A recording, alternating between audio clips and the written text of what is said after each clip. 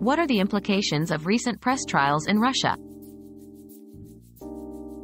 The recent press trials in Russia underscore a tense media environment.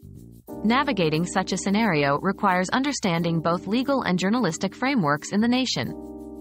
For journalists, ensuring secure communication, protecting sources, and adhering to ethical practices become pivotal.